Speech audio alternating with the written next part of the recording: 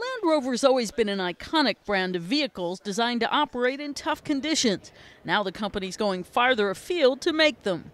On Friday, it opened its first assembly plant in India, though the components for the traditionally British made cars will still be manufactured at a plant in Liverpool. India based Tata Motors had bought Jaguar Land Rover from Ford three years ago. It's had trouble getting enough engines from Ford in the time since. Now its new plant will help expand its capacity.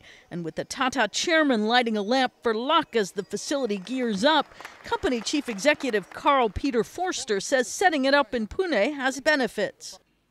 Clearly, India can be a very attractive sourcing base, an opportunity to source more and more high quality yet lower cost components, not only for Indian operations, but also for overseas operations. But even though Forster had his eye on the export market, there's no denying India's own car boom will mean many of the Freelanders put together in the Pune facility will remain in the country. Shapur Kotwal, deputy editor of Autocar magazine, says demand for premium cars in India looks to stay strong for the next five years at least, with those who can afford them eagerly snapping up Jaguars and Land Rovers. It's natural that we want to have the best. You know, we, we have been starved of good cars.